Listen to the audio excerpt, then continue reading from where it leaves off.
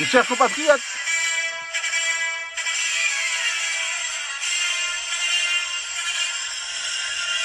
Et bienvenue au cirque politique en marche Avec Benjamin Griveaux, Alexandre Benana, François de Rugy et Christophe Castaner. Et en tant que président d'honneur, Emmanuel Macron.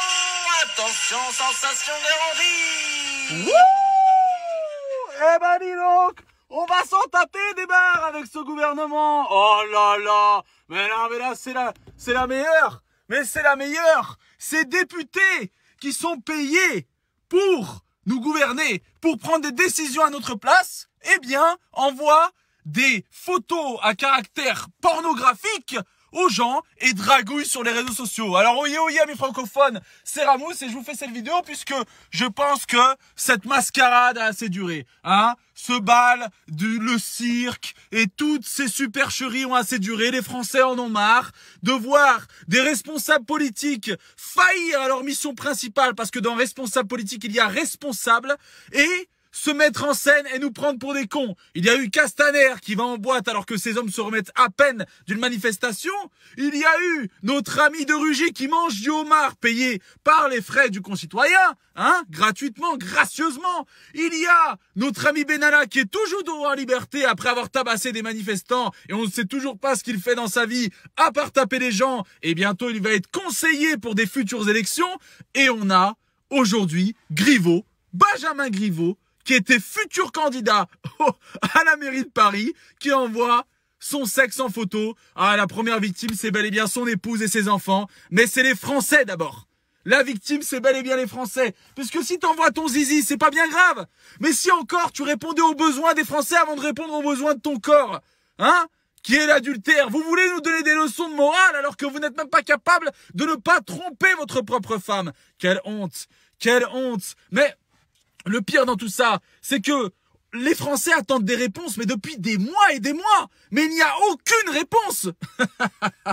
et ça se permet de donner des leçons de morale alors qu'ils n'ont même pas encore balayé devant leur porte. Mais monsieur Emmanuel Macron, il serait temps d'arrêter cette mascarade. Vous vivez avec des amateurs. Alors je sais que vous savez que c'est des amateurs et vous leur dites les gars, essayez de vous montrer au, meilleur de votre amateurisme. Mais eux se permettent de faire des vidéos pornographiques amateurs. Mais quel gouvernement Mais vous, c'est un cirque. Vous êtes une bande de charlots rémunérés par nos impôts. Incroyable.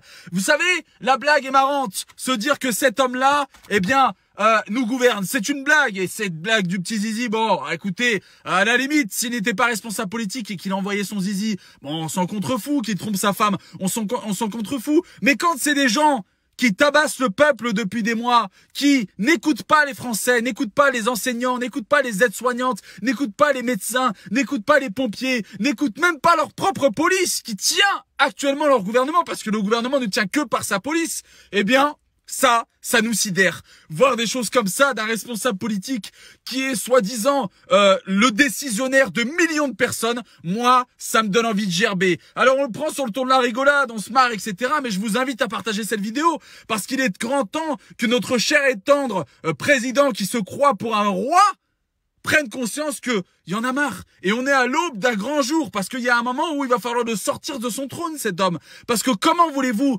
que tout se passe bien dans notre pays alors que ce gouvernement, mais on, ne cesse de, mais c'est, on est le, le fiasco du monde entier. C'est le fiasco du monde entier. Mais c'est incroyable. Le monde entier se fout de notre gueule. On a des responsables politiques qui envoient leurs zizi en photo, qui mangent du homard, on en a certains, ben je sais pas, qui prennent des photos, qui font des bains de foule, mais vous ne représentez rien. C'est l'hôpital qui se fout de la charité, c'est le Roquefort qui dit au fromage tu pues. Vous n'avez rien fait pour les Français. Vous n'avez jamais répondu aux questions existentielles qui sont quand est-ce que vous allez augmenter le pouvoir d'achat des Français?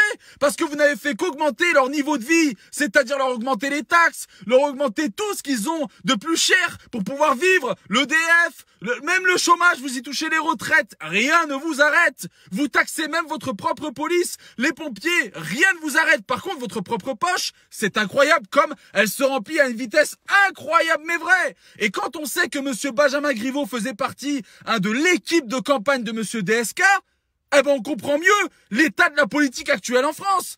Quand on se rend compte que ben on a des politiciens qui ne pensent qu'à leur petit nombril, qui ne parlent que d'eux et c'est des réunions d'entre couilles. Aucun d'entre eux n'a la tête sur les épaules et c'est réellement ce dont le peuple a besoin. Mais on en a marre.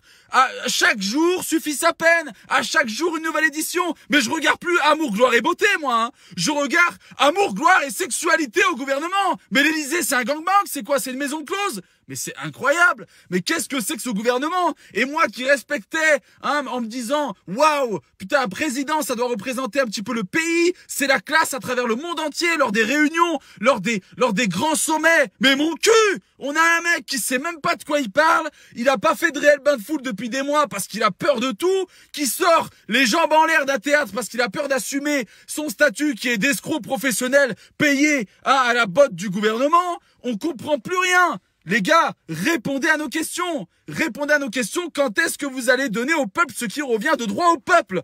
Quand est-ce que vous allez penser réellement aux Français? Parce qu'à part envoyer votre zizi, non mais le mec, ça fait des mois que les Français se posent la question de comment est-ce qu'on va pouvoir vivre dignement. Et le mec, oh bébé, ouais, putain bébé, Qu'est-ce que tu me chauffes? Oh ouais, envoie-moi ta poitrine, bébé. Oh yeah. Les Français, leurs besoins? Non, non, mais attends, là, là, je suis en train, je suis de gérer mes besoins, là. Hein. non, mais c'est incroyable. Vous êtes une belle bande d'incapables. C'est Dallas leur délire. L'autre couche avec l'autre, l'autre regarde l'autre, l'autre on sait pas si il est vraiment euh, sérieux, l'autre on sait pas, il mange du homard, l'autre il va en boîte de nuit, il trompe sa femme, l'autre il est au gouvernement mais on ne comprend pas ce qu'il fait parce qu'il est avec l'autre et il a soulevé des fonds. Et Balkany, qui sort de prison pour sa santé. Non mais pour notre santé à nous, euh, franchement français, mettez, mettez, mettez ce, cet escroc de Macron en prison.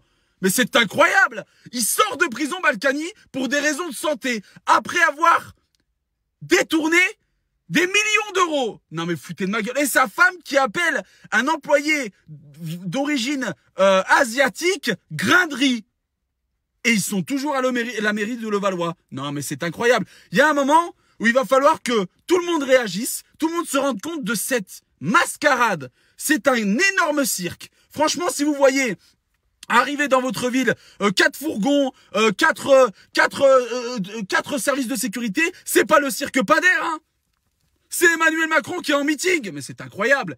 Mais que font ces gens au pouvoir? Comment est-ce qu'on peut se laisser faire par un gouvernement comme ça Comment est-ce que les Français n'ont toujours pas pris conscience de la, gravité et de la position dramatique dans laquelle on est tous les jours? S'il vous plaît, au mieux d'envoyer, s'il vous plaît, votre zizi en photo, quand bien même c'est la Saint-Valentin, hein, et quand vous êtes seul à la Saint-Valentin, vous êtes célibataire, sachez une chose, c'est qu'il y a pire que vous, hein. Il y a la femme de, de il y a la femme de, de notre ami Benjamin Griveaux qui est dans un état pitoyable, la pauvre, même si elle a dû supporter lui et sa politique catastrophique. Mais dites-vous une seule chose, nous, ce qu'on voudrait, c'est tout simplement que vous répondiez à nos questions.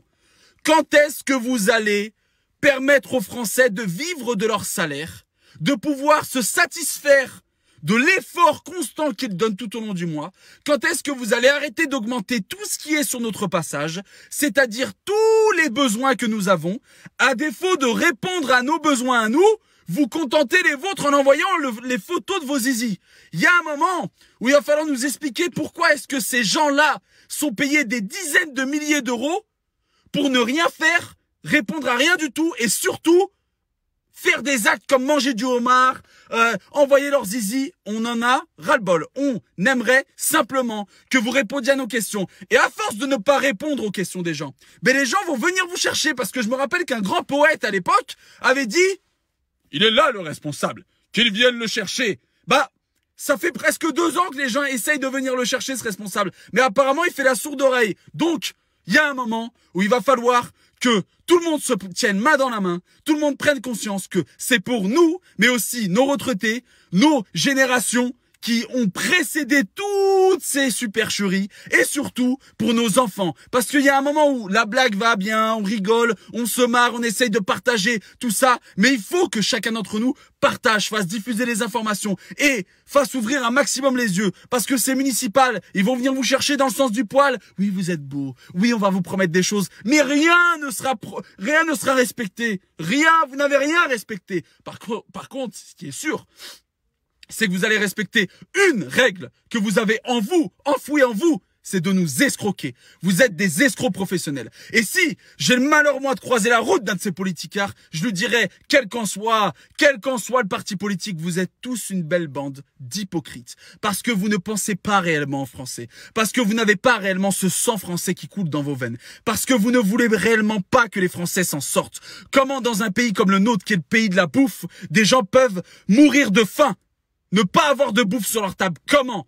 Comment est-ce que dans notre pays, Comment est-ce que dans notre pays, des gens peuvent encore vivre dehors alors que le président qui est actuellement en place avait promis que il y a deux ans, il n'y aurait plus de SDF dans la rue? Comment est-ce encore possible? Honte à vous. J'aurais honte d'être à votre place. Je préfère être un abruti, un clown, un gueux, faire partie de la souche populaire que de manger à votre table et de pactiser avec le diable comme vous vous êtes une belle branche d'hypocrites. Et jamais, au grand jamais, vous ne pourrez poursuivre ce que vous êtes en train de faire parce que vous avez créé une génération de personnes qui s'insurgent et qui ont ouvert les yeux. Au bout d'un moment, c'est la fête du slip. Ce gouvernement, c'est la fête du slip. Rien ne va, rien ne tourne rond, et surtout, ils se foutent de notre gueule. Ils se foutent de notre gueule. Ils nous volent, ils nous méprisent, ils nous crachent dessus, et ils vont nous chercher ou nous écouter que quand ils ont des élections. À vous de faire preuve d'intelligence et en vous disant que moi, je vais réagir. Alors je vous compte, moi je compte sur vous pour montrer qu'on n'est pas des imbéciles, qu'on n'a pas à nous insulter et que oui, c'est triste que la vie privée de quelqu'un soit mise au bout du jour. Mais il y a un moment où on a des responsabilités en tant que responsable politique, payés par les impôts des Français, payés par le contribuable, payés des salaires faramineux pour être présent à une assemblée où la moitié de l'hémicycle dort il est grand temps de rendre des comptes. Et rendre des comptes, c'est maintenant. Les Français en ont marre. Et ils vont pas attendre les élections. Ils vont pas attendre que vous alliez les, les toucher dans le sens du poil. Non, c'est maintenant. C'est maintenant qu'il va falloir rendre des comptes. Et on en a marre. On n'a pas envie d'attendre des autres scandales. Et on va pas attendre qu'il y ait un nouvel attentat ou qu'il y ait une Coupe du Monde gagnée pour être des centaines de millions dans les rues. Parce que ça suffit. Vivre dignement, être respecté et surtout vivre dans un pays qui prône la paix, pas où on voit toutes ces choses qu'on voit toute la journée et on est crache au visage. Donc s'il vous plaît, faites un geste, c'est de partager ce direct. Ça dure trois secondes, c'est gratuit. Eux vous prennent dans la poche. Nous, on vous demande de partager pour faire entendre notre discours et faire entendre notre colère au plus, à la personne qui est au fin fond de la France et qui se sent isolée. Soyons ensemble. Parce que seul on va vite, mais ensemble on va plus loin. Et que c'est pas parce que ils nous volent toute la journée qu'on doit pleurer sur notre sort. C'est maintenant qu'on doit reprendre notre pays en main. C'est nous le pays. C'est nous les Français. Eux ne sont qu'une caste qui se parlent entre eux et qui font voter des lois sans queue ni tête pour nous voler à 2 heures du matin derrière notre dos. À nous de faire les choses devant tout le monde. Alors le zizi, c'est pour Griveaux. Zizi, hein? Sacré Zizi, hein Et puis surtout, notre ami Macron, bah je l'ai perdu, tiens, s'il pouvait se perdre comme je l'ai perdu, dis donc. Merci à tous, je vous, je compte sur vous pour justement partager ça de partout, de tous les groupes, votre mur, peu importe, de partout. Parlez-en de partout, et surtout, mettons le doigt sur leurs erreurs, parce que vous, quand vous avez ne serait-ce que le malheur de ne pas payer une facture, on vient vous chercher et toquer à votre porte. Et on vous parle comme des brigands. Et ces gens-là vous volent. Et croyez-moi, ce n'est que la partie visible de l'iceberg. Tout ce qu'on n'entend pas et ce qu'on voit pas, ce sont des choses qui existent bel et bien.